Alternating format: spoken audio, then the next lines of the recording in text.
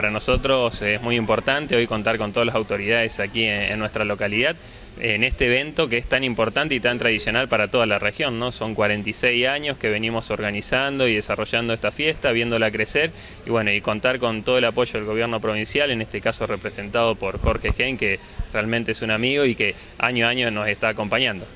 Como siempre con la comuna brindando el apoyo a la fiesta también, donde sabemos que son eh, dos clubes que la organizan, uno de ellos de aquí de San Carlos Sur y siempre brindando todo el apoyo.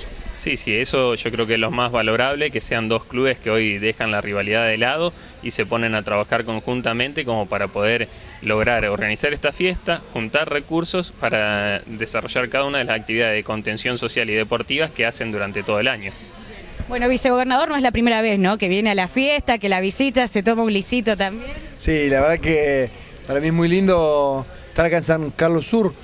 Eh, primero porque nos sentimos muy, muy cerca de la gestión que viene llevando adelante Mauricio en esta comuna, eh, porque vemos una región que está, que está creciendo, pero además porque es imposible no hacer referencia a la propia historia de uno y uno de eh, esta zona, la fiesta de la cerveza, era una fiesta, eh, siempre fue una fiesta emblemática eh, que hizo muy conocida a toda, esta, a toda esta región. Entonces, la verdad que para nosotros es un gusto. Y como, como decía Mauricio, que lo hagan los clubes, hay un, un esfuerzo de voluntariado de cada una de las personas que hoy están trabajando acá.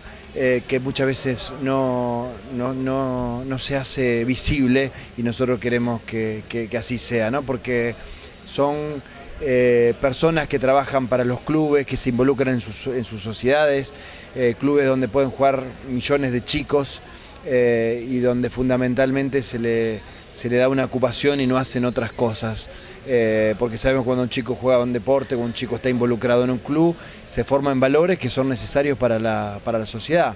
Entonces, eh, para mí es un gusto venir eh, a Casa Carlos Sur representando al, gobierno de la provincia de, de Santa Fe y bueno, y sobre todo tomando nota de esta importante capacidad de trabajo.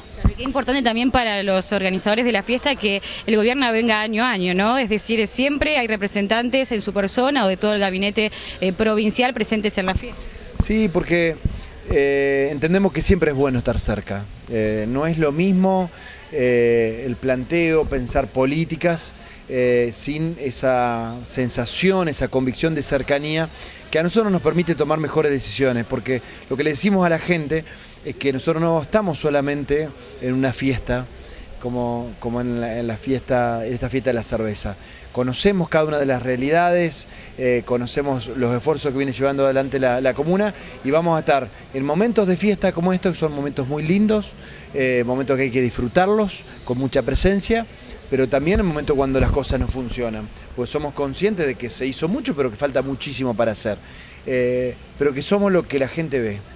Eh, y quedamos siempre con honestidad lo mejor que podemos y que vamos a estar eh, en las buenas, en momentos de fiesta, pero también cuando la sociedad sí lo requiera, porque esta es la, forma que entendemos a la calidad institucional en nuestra provincia.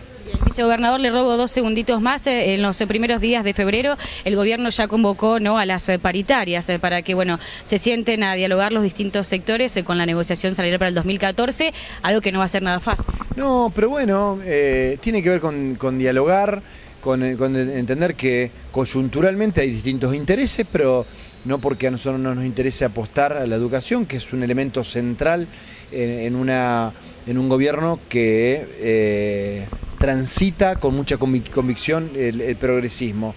Eh, pero bueno, que a veces nosotros tenemos que atender a, los intereses de toda la, de toda la provincia eh, y poder, por ejemplo, seguir sustentando una importante obra pública que se lleva adelante en la provincia de Santa Fe. No tengo la menor duda que nos vamos a, poner de acuerdo en los momentos que sea y cuando no, nos, levantaremos y nos sentaremos de vuelta porque así nos exige la ciudadanía. Los intendentes y presidentes comunales ya han manifestado que, bueno, con el bono que hubo que pagar de mil pesos y con la negociación salarial que se viene, eh, no va a quedar otra alternativa que aumentar algunos impuestos, ¿no? Que de hecho es algo que ya la provincia hizo.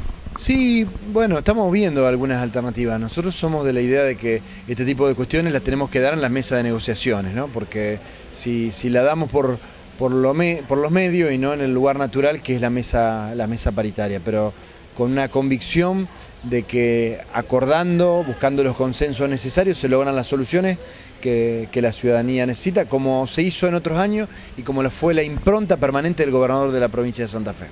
Va a haber una base por parte del gobierno en cuanto al porcentaje en la discusión salarial. El año pasado se acordó un 26%. Hoy los gremios menos 30 hacia arriba, ¿no? Menos no. Sí, bueno, pero digo, esa discusión la queremos dar en el lugar que corresponde por respeto a los, a los interlocutores, pero, pero siempre hemos tenido en cuenta el índice inflacionario para, para ponerlo arriba de la discusión para que el trabajador no pierda su capacidad adquisitiva.